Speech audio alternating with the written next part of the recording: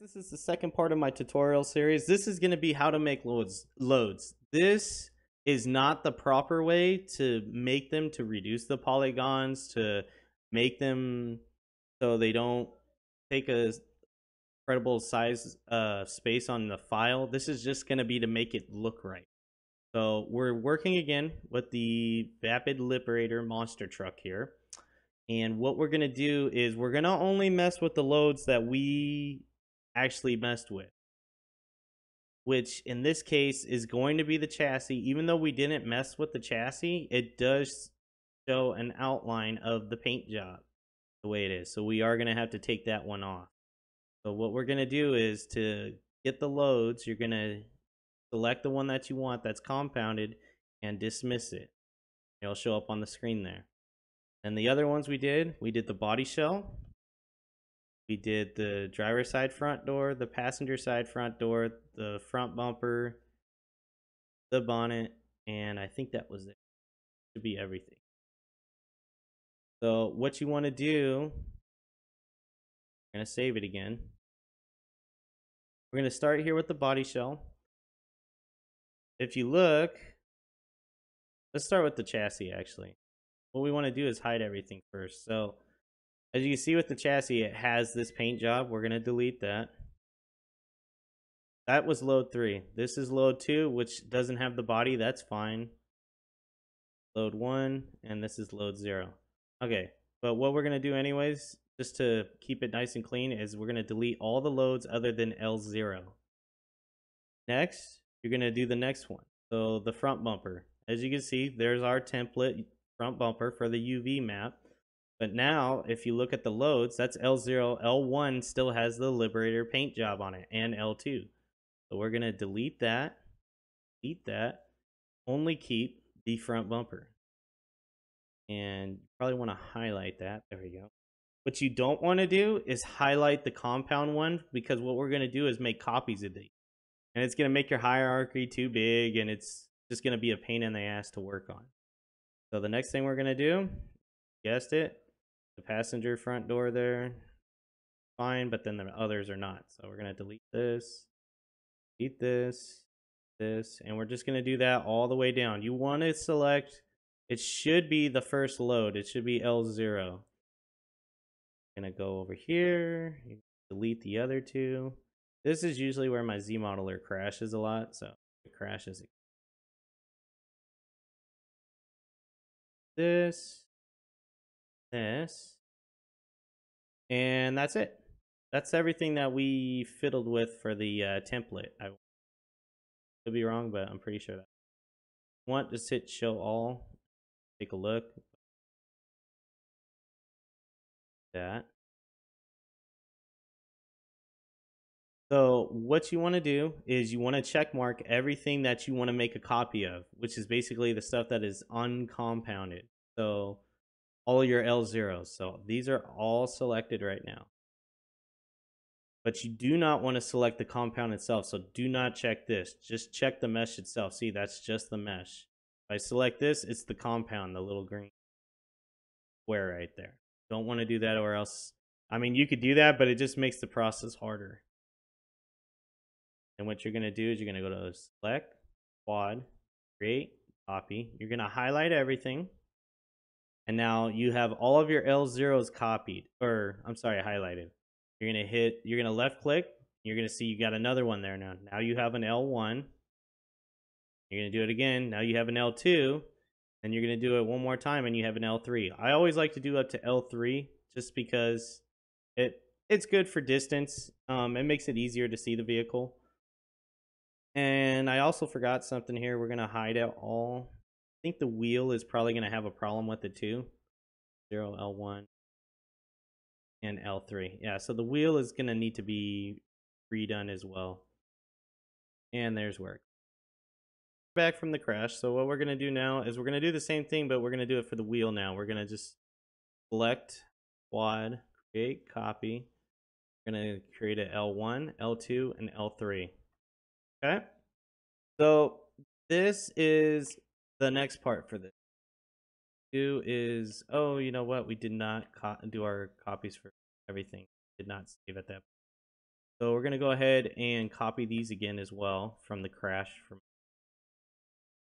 Copy, select all of them.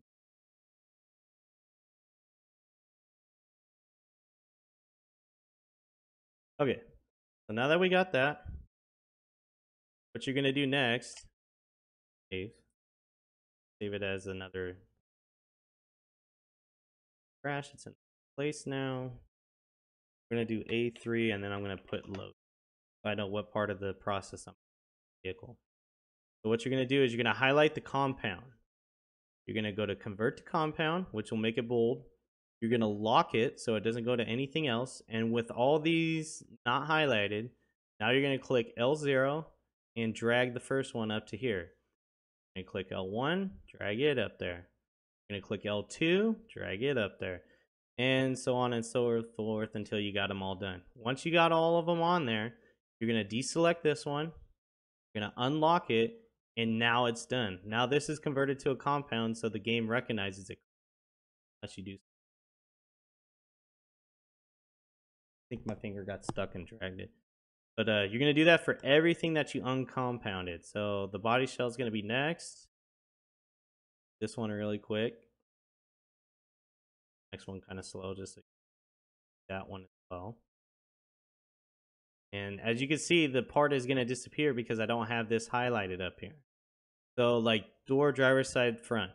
You're going to select it, highlight it, convert to compound, lock, L0, L0, L1, L1, 2, get up for L2, drag it up for L3, and now it disappears because this is not highlighted.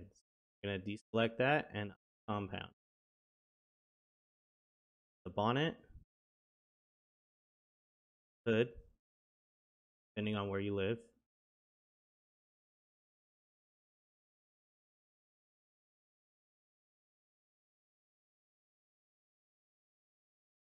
Other door?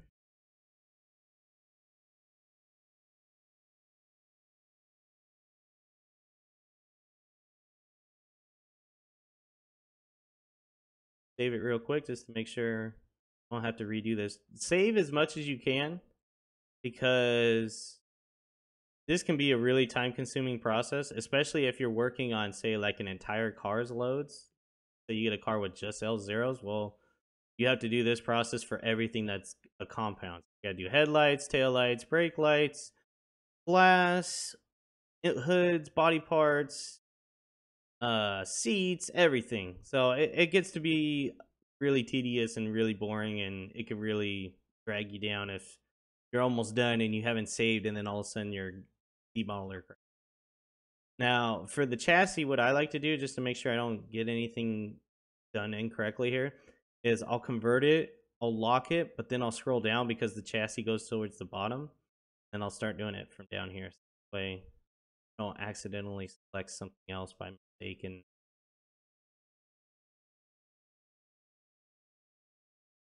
And that's it. You've con- you've now created LODs for the vehicle. Um, don't worry about that. That's just that screen. I don't know why the user screen likes to do that. Like it mushes it together and messes it up. But um, look here, like L2, all of a sudden it starts to look right, and L3. Now, L3 should not have too much detail to it. This is like the farthest point almost for the vehicle. It should basically be an outline so when you're driving down the street, you can recognize what this vehicle is.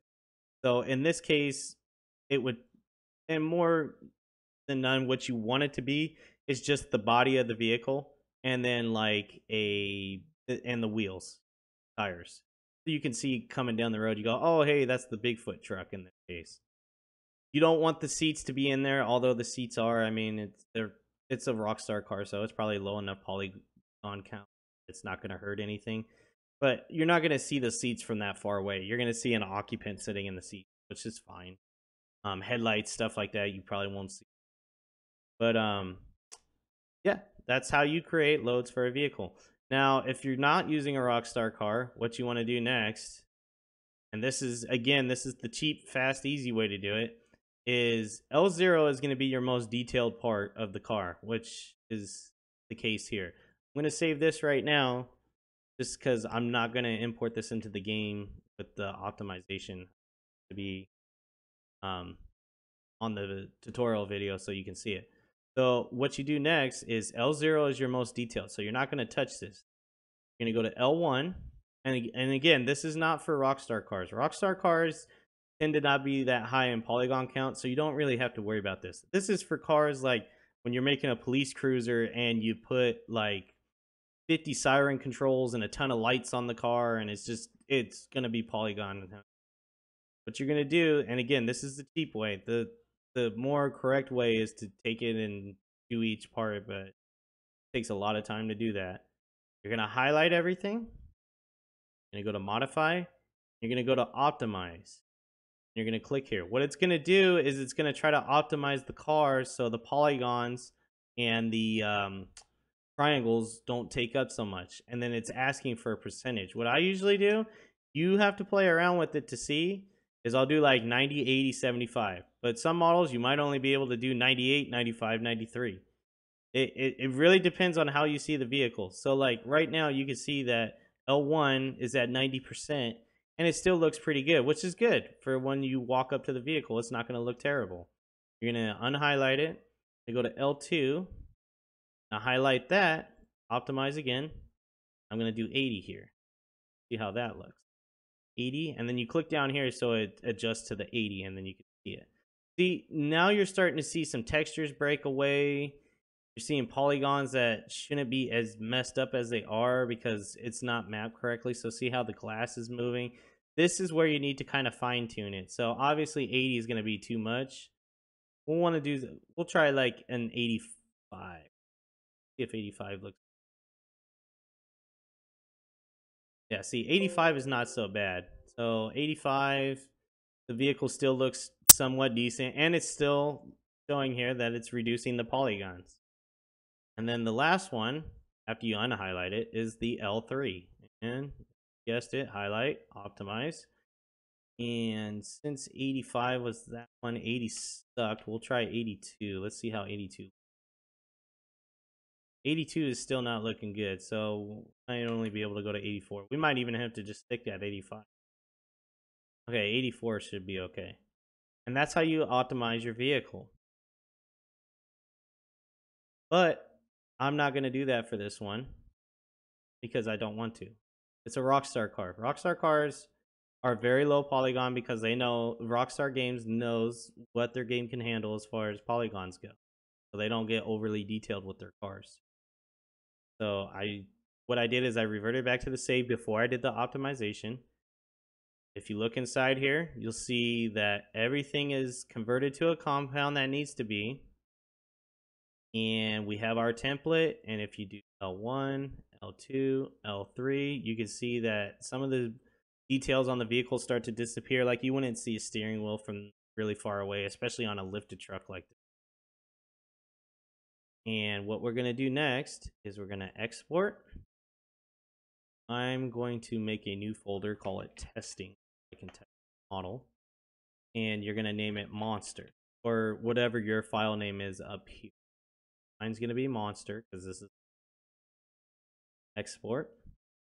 And it should give you uh, something down here. If it comes up with the error messages like, hey, I couldn't find the spec map for this material, that blah, blah, blah, it's fine. It's okay. It, it It's nothing to be worried about.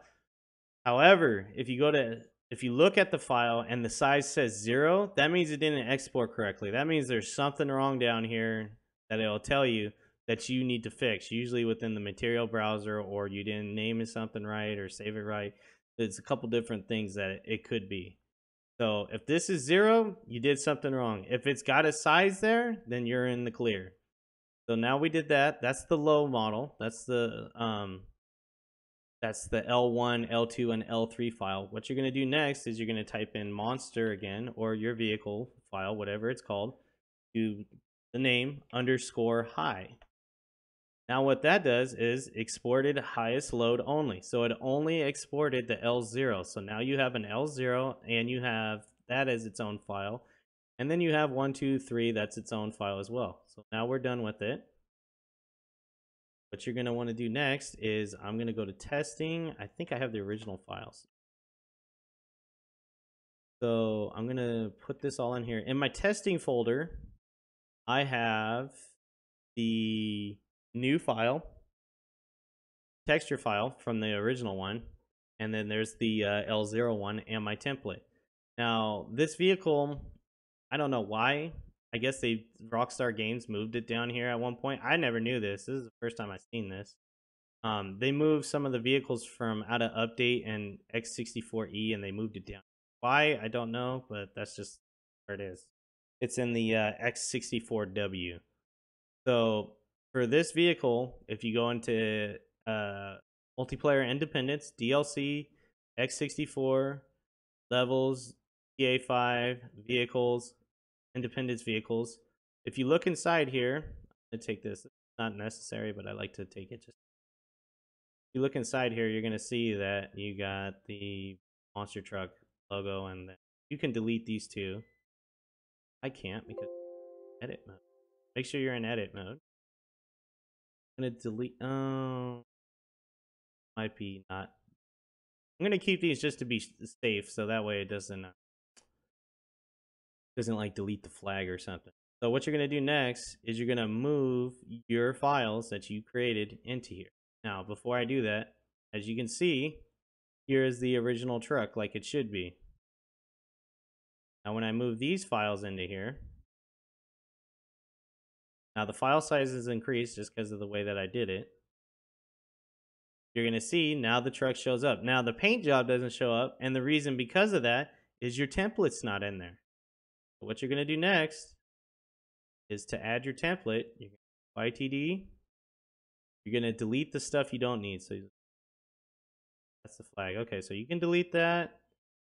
And you can delete the logos. You Actually, you might need that. I want to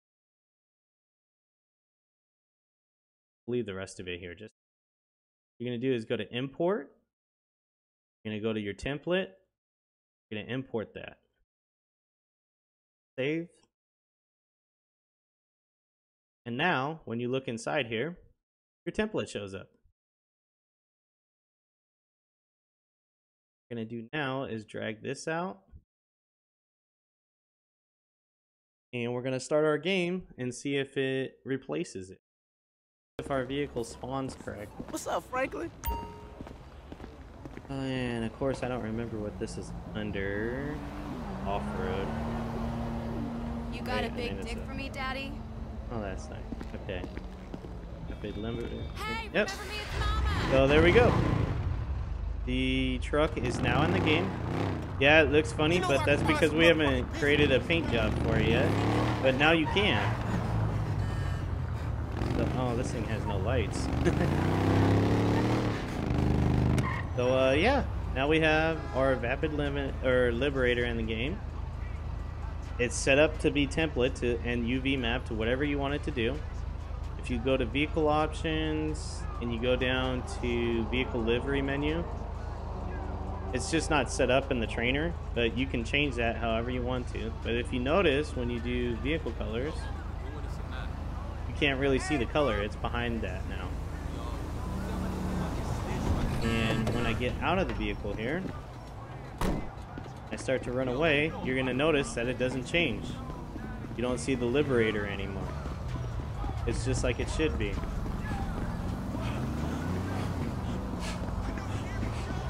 And with that being said, that is how you properly create a template, UV map it to a vehicle, and create the LOD so the template shows up correctly. Hope you guys enjoyed the tutorial. I might do a couple more. I might do a complete, like, speaking of me building an entire vehicle, like a police vehicle or something, but, um, to be honest with you, it's really hard to do without music. I love listening to music when I'm doing this, so not having the music is a cool. But, uh, thank you for watching. I hope this helps you, uh, as that truck hits it. And, uh, I'll see you later.